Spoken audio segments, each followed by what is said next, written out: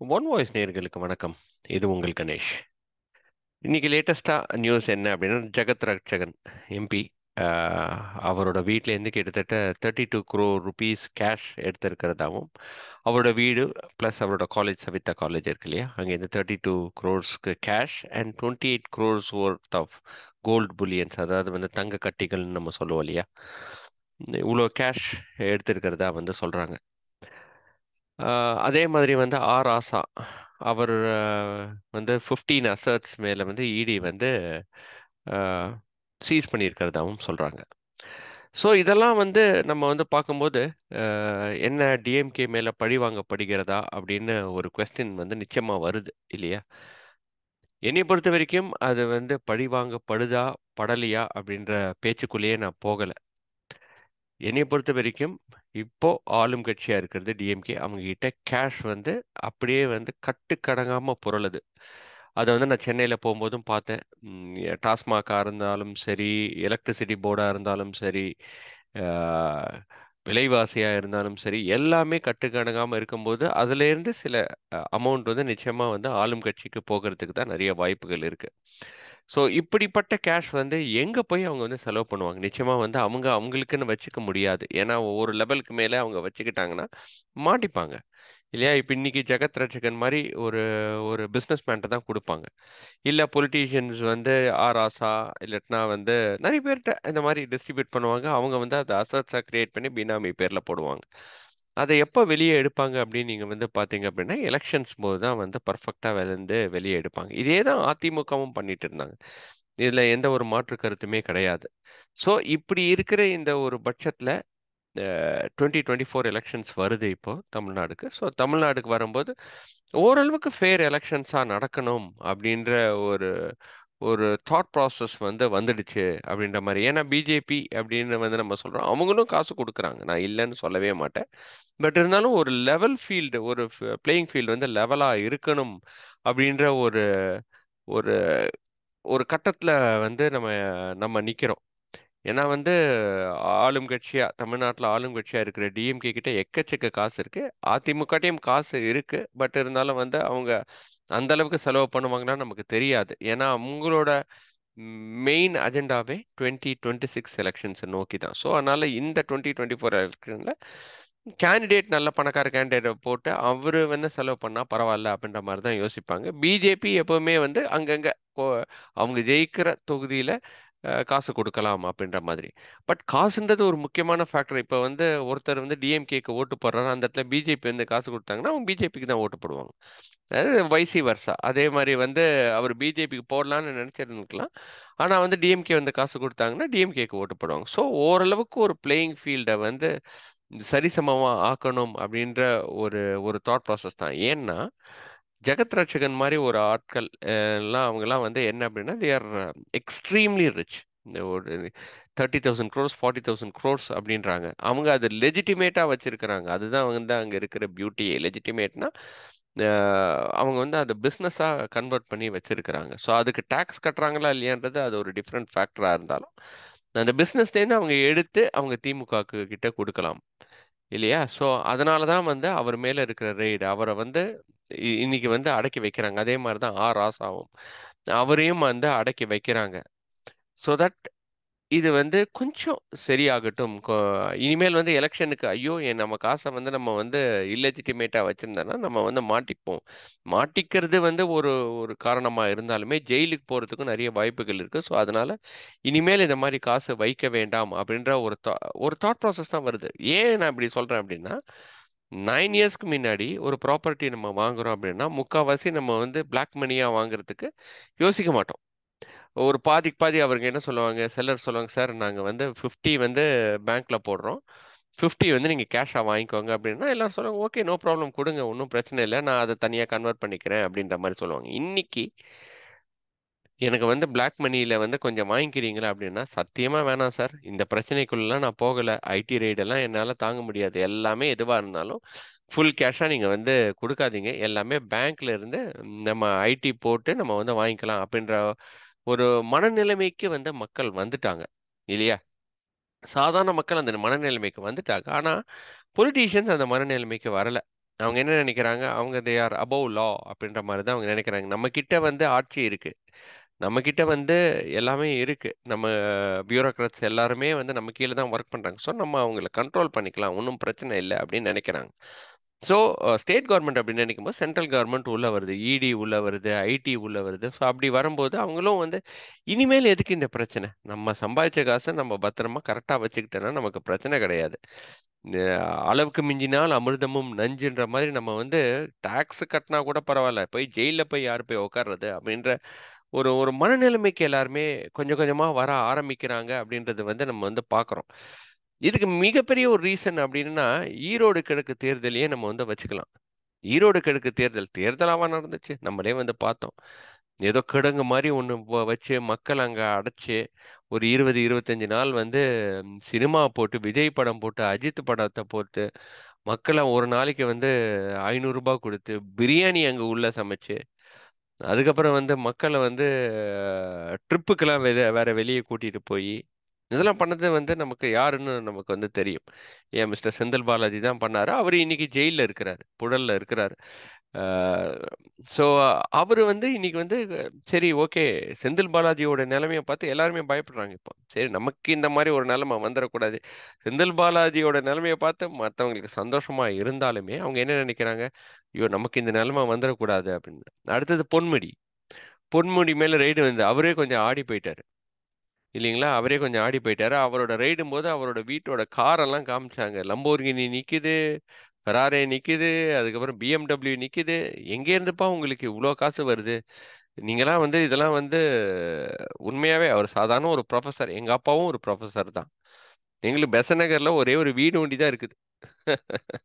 அவரோட எங்கள் அப்பாவோட அதே கேடர் தான் அவரும். ஆனால் வந்து இன்னைக்கு அவர் லம்போர்கினி வச்சிருக்கிறாரு. எப்படி வச்சுக்க முடியும்? இதில் வந்து எந்த ஒரு மாற்று கருத்து இருக்கு? அவர் வந்து எல்லாத்தையுமே வந்து நாங்கள் கொஞ்சம் சம்பாதிச்சுக்கிட்டோம் அப்படின்ற அவரே ஒத்துக்கிறாரு ஒரு இன்டர்வியூவில் இப்படி இருக்கிற பொன்முடி மேலே ரைடு அதுக்கப்புறம் வந்து ஆர். ஆசா அதுக்கப்புறம் ஜெகத் ரஜகன் அதுக்கப்புறம் இப்போ அனிதா ராதாகிருஷ்ணன் மேலேயும் வரும் அப்படின்ற மாதிரி சொல்கிறாங்க ஸோ அப்படி இருக்கிற ஒரு பட்சத்தில் இப்போ வந்து அந்த அரசியல்வாதிகள்லாம் வேண்டாம் நம்ம வந்து நம்மளோட பலத்தை வச்சு ஜெயிக்கிறது தான் வந்து முக்கியம் அப்படின்ற மாதிரி அவங்க வந்து கொஞ்சம் கொஞ்சமாக மாத்துறாங்க. இந்த மாறுதல் வந்து இம்மீடியட்டாக வந்துடாது நம்ம வந்து ஈரோடு கிழக்கு தேர்தலுக்கு அப்புறம் இம்மீடியட்டாக நம்ம இந்த மாறுதல் வந்துடாது நமக்கே வந்து யோசிச்சு பாருங்க டூ தௌசண்ட் நைனில் நாங்கள் ஒரு ப்ராப்பர்ட்டி வாங்கும்போது இருந்த மனநிலைமை இப்போதைக்கு டுவெண்ட்டி டுவெண்ட்டி த்ரீல நம்ம வந்து நாங்கள் எல்லாமே ஒயிட்டாக கொடுக்குறோன்னா எனக்கு தயவு செய்து ஒயிட்டாக கொடுங்க. அதுதாங்க வேணும் அப்படின்னு மக்கள் இப்போ நினைக்க ஆரம்பிச்சிட்டாங்க. அதுதான் உண்மை. இல்லையா? ஸோ அதே மாதிரி பொலிட்டீஷியன்ஸும் அவங்களோட மனநிலை they are not above the law அப்படின்றது வந்து இப்போ புரிய கொஞ்சம் கொஞ்சமாக புரிய ஆரம்பிக்குது. ஏன்னா Senthil Balaji is sitting minister அவரை இப்போ தூக்கி உள்ளே வச்சுருக்காங்க. Jagath Rakshakan is sitting MP அவர் மேலே இன்னைக்கு வந்து raid and R Raja is sitting MP அவர் மேலேயும் இப்போ raid Anitha Radhakrishnan is sitting minister அவர் மேலேயும் வரலாம். Ponmudi is sitting minister so ministers எல்லாருமே ஓகே நமக்கு இருக்கிற இப்போ இந்த காசை வந்து பத்திரமா நம்ம இது பண்ணி வச்சுக்கலாம். இனிமேல் வந்து நம்ம வந்து வெளியே போக தேவையில்லை. காசு கொடுத்து நம்ம ஜெயிக்க தேவையில்லை. அப்படின்ற ஒரு மனநிலைமை கொஞ்சம் கொஞ்சமாக மாறிட்டு வருது அப்படின்றது தான் நம்ம வந்து இப்போ பார்க்குறோம் அதே நிலைமை தான் அதிமுகக்கும் நான் இதுக்காக வந்து அதிமுக வந்து அதாவது வந்து ஊழலற்ற கட்சி அப்படின்னு வந்து நம்ம வந்து சொல்லவே முடியவே முடியாது. நம்ம வந்து பார்த்தோம் தங்கமணி வேலுமணி அதுக்கப்புறம் விஜயபாஸ்கர் குட்கா விஜயபாஸ்கர் அவங்களையும் நம்ம பார்த்தோம் இல்லையா? அவங்க பண்ணாத ஊழலா இப்போ வந்து திமுக பண்ணியிருக்க பண்ணுறாங்க அப்படின்னு நீங்கள் வந்து கேட்டீங்க அப்படின்னா ரெண்டு பேருமே இந்த ஊழலில் வந்து தலை தூக்கி தான் நிற்கிறாங்க அதுக்காக பிஜேபியே காசு கொடுக்கலையே அப்படின்னா பிஜேபியும் காசு தான் கொடுக்குறாங்க. நம்ம வந்து பார்த்தோம் கர்நாடகா எலெக்ஷன்ஸில் கிட்டத்தட்ட பணம் வந்து தண்ணியாக செலவு செஞ்சாங்க அப்படின்னு தான் என் ஃப்ரெண்டு வந்து சொன்னார். பிஜேபியும் இதுக்கு வந்து என்ன சொல்கிறது ஓ, அவங்களும் காசு தான் கொடுக்குறாங்க. ஸோ எல்லாருமே காசு கொடுக்குறாங்க. But one point of time என்ன நினைக்கிறாங்க? யாருமே காசு கொடுக்க தேவையில்லை. காசு கொடுக்காம ஜெயிக்க முடியுமா? அப்படின்றது தான் இனிமேல் வந்து நம்ம கொஞ்சம் கொஞ்சமாக அதை நோக்கி தான் நம்ம போயிட்டுருக்கோம். அது அடுத்த எலெக்ஷனே வந்துடும் அடுத்த எலெக்ஷனே வந்துடும் நான் சொல்ல வரல. கொஞ்சம் கொஞ்சமாக அதை நோக்கி போகணும் அப்படின்னு தான். இந்த காசு கொடுக்கறது அப்படின்றது வந்து அங்கே ஆங்காங்கே நடந்துட்டு இருந்த ஒரு ஒரு விஷயத்த வந்து ஒரு பிரகடனப்படுத்தினது வந்து மிஸ்டர் அழகிரி தான். திருமங்கலம் ஃபார்முலா அப்படின்னு வந்து நம்ம வந்து சொல்கிறோம் இல்லையா? திருமங்கலம் ஃபார்முலா. அவர் வந்து எலெக்ஷன் கவுண்டிங்க்கு முன்னாடியே வந்து அவர் சொல்லிட்டார். கிட்டத்தட்ட நான் forty thousand to fifty thousand ஓட்டில் ஜெயிச்சிருவோம் அப்படின்ற மாதிரி அவர் வந்து இடைத்தேர்தல் திருமங்கலம் இடைத்தேர்தலில் வந்து சொன்னார். எப்படி அவர் சொல்ல முடிஞ்சது அப்படின்னா அப்படிப்பட்ட ஒரு கட்டுக்கடங்காத ஒரு காசை வந்து ஒரு ஓட்டுக்கு ஒரு ஒரு தெருவுக்கு ஒரு ஓட்டுக்கு இவ்வளோ காசு அப்படின்னு சொல்லி கரெக்டாக செயல் திட்டத்தை வகுத்து அதே அதுதான் பண்ணார். அந்த செயல் திட்டம் தான் இன்னைக்கு வந்து இவ்வளோ பெரிய ஒரு ஒரு பெரிய ப்ரொபகேண்டாவாக வந்து நிற்கிது இன்னைக்கு நமக்கு முன்னாடி. ஸோ அந்த ஒரு ப்ரொபகேண்டாவை முறியடிக்கணும் அப்படின்னா அது அது வந்து நிச்சயமாக இம்மீடியட்டா நடக்காது. அது அதுக்குன்ட்டு ஒரு ஒரு டைம் இருக்குது அந்த டைமை நோக்கி தான் நம்ம போயிட்டுருக்கோம். ஒரு நல்ல ஒரு இலக்கை நோக்கி தான் போயிட்டுருக்கோம் அப்படின்ற மாதிரி தான் வந்து தோணுது. அதே மாதிரி வந்து ஜெகத் ரட்சகன் அரெஸ்ட் ஆவாரான்னு நிறைய பேர் கேட்டிருக்காங்க. எனக்கு தெரிஞ்ச ஐடி ரேட்லாம் வந்து அரெஸ்ட் ஆக மாட்டாரு. But this is a cautionary moment for நிச்சயமாக நிச்சயமா இடி உள்ள வந்தாங்க அப்படின்னா வந்து அவர் அந்நிய செலவாணியில வந்து நிறைய குளறுபடிகள் இருந்துச்சு அப்படின்னா நிச்சயமா வந்து இடி உள்ள வருவாங்க. இடி உள்ள வந்தாங்க அப்படின்னா வந்து ஹண்ட்ரட் பர்சன்ட் அவர் அரெஸ்ட் ஆகிறதுக்கு வாய்ப்புகள் இருக்கு. அதே மாதிரி தான் ஆர் ஆசாக்கும் நிச்சயம் அப்புறம் இன்அப்ரோப்ரியேட் கேஸ் இல்லையா? ஐடி ரெய்டு தான். அண்ட் ஐடி ரெய்டில் வந்து அவர் வந்து அரெஸ்ட் ஆவாரன்னா எனக்கு தெரிஞ்ச அரெஸ்ட் ஆக மாட்டார் தான் அப்படின்னு தான் சொல்ல வேண்டியதாக இருக்குது பட் ஆர் ஆசாக்கும் இது ஒரு செக் ஏன்னா ஆர் ஆசா வந்து பேசுகிற பேச்சுக்கெல்லாம் நம்ம வந்து எனக்கு அதை பற்றி என்ன சொல்கிறதுனே தெரியல. ஸோ அவரும் கொஞ்சம் ஏன்னா வந்து he wants to come into lime light அந்த லைம் லைட்டை வந்து அவர் அவருக்கே தனி திறமை இருக்குது அந்த தனி திறமையை வந்து அவர் யூஸ் பண்ணி வ- வ- வராமல் ஆளுங்கட்சியாக இருக்கிற பிஜேபியை பார்த்து ரொம்ப மோசமான வார்த்தைகள் பேசுறதுனால தான் வந்து அவர் மேலேயும் இன்னைக்கு ஒரு ஒரு கரும்புள்ளி அப்படின்ற மாதிரி. அதுக்காக வந்து நீங்க வந்து பலம் பொருந்தியவங்களை நீங்க வந்து இப்படி பண்றீங்களே அப்படின்னு நீங்க வந்து கேட்கலாம். நீங்களும் அப்படித்தானே பண்றீங்க? ஆட்சிக்கு வந்தா. So it's a tit for a tat அப்படின்ற மாதிரி தான் இருக்கு. பட் இதெல்லாம் ஸ்டாப் ஆகணும். அரசியல்ன்றது வந்து ஓரளவுக்கு ஒரு டீசன்சி அதாவது கருத்து பரிமாற்றத்தில் வந்து சண்டை போடுறது தப்பு கிடையாது. உங்களோட சித்தாந்தம் வேற என்னோட சித்தாந்தம் வேற. அந்த சித்தாந்தத்தில் சண்டை போடுறதுல தவறு கிடையாது. பட் அதை வச்சு நம்ம இருக்கிற பவரை வச்சு ஊழல் செய்யறதோ மக்களுக்கு வந்து மக்களோட வரி பணத்தை நம்ம வந்து ஆட்டைய போடுறதோ இதெல்லாம் தான் நிறுத்தணும் அப்படின்றது தான் வந்து மக்களோட கோரிக்கையாகவும் இருக்கிறது. இல்லையா?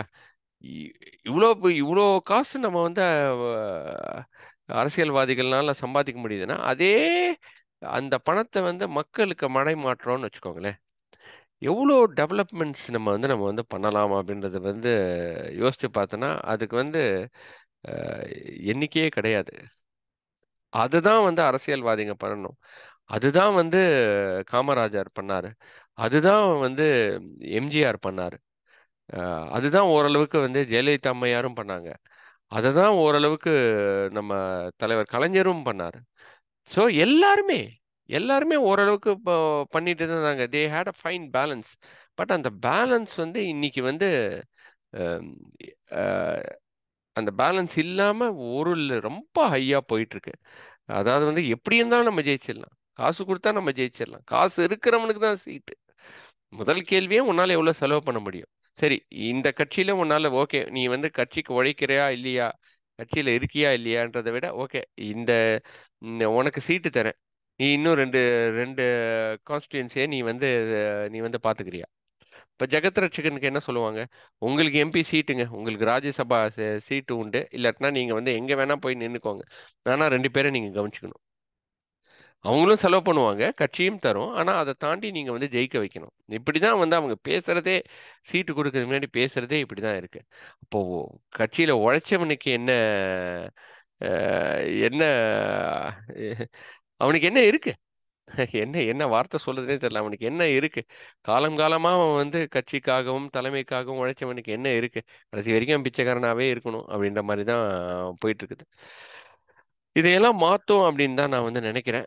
இந்த ரைட்ஸ் எல்லாமே. ஏன்னா வந்து நம்ம வந்து காசு கொடுத்து ஜெயிக்கக்கூடாது அப்படின்றது வந்து ஏன்னா காசு கொடுத்து ஜெயிச்சோன்னா மாட்டிப்போம் அப்படின்றது வந்து கொஞ்சம் கொஞ்சமாக மக்களுக்கு புரிய வருது அரசியல்வாதிகளுக்கும் புரிய வருது அப்படின்றத வந்து சொல்லிக்கிட்டு இந்த வாய்ப்புக்கு சான்ஸ் கொடுத்த ஒன் வாய்ஸ் நேயருக்கு ஒன் வாய்ஸ்க்கு நன்றி சொல்லி இன்னொரு வீடியோவில் சந்திக்கிறேன். அதுவரை நன்றி வணக்கம்.